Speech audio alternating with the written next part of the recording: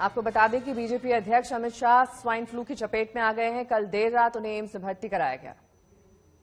मोदी जी के नेतृत्व में फिर एक बार सरकार बनाकर विजय उत्सव मनाने के लिए हम इस रामलीला मैदान बीजेपी के मिशन 2019 में दिन रात एक करने वाले अमित शाह एम्स में भर्ती हैं।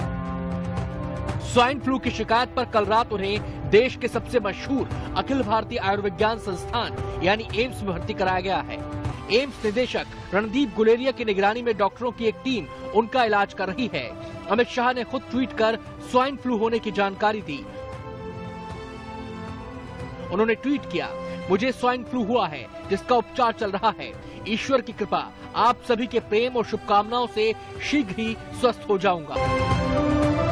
अमित शाह बीजेपी के दूसरे नेता हैं, जो इस वक्त सेहत संबंधी समस्या का सामना कर रहे हैं। इससे पहले वित्त मंत्री अरुण जेटली के अमेरिका जाने की खबर आई थी।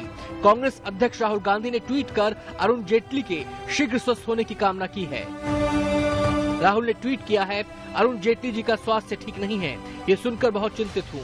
अपनी अपनी विचारधाराओं को लेकर हम अक्सर लड़ते हैं। हालाँकि मैंने और कांग्रेस पार्टी ने उन्हें अपना प्यार और शुभकामनाएँ भेजी हैं। हम उनके जल्द स्वस्थ होने की कामना करते हैं। इस मुश्किल समय में हम सौ फ़ीसदी आपके और आपके परिवार के साथ हैं।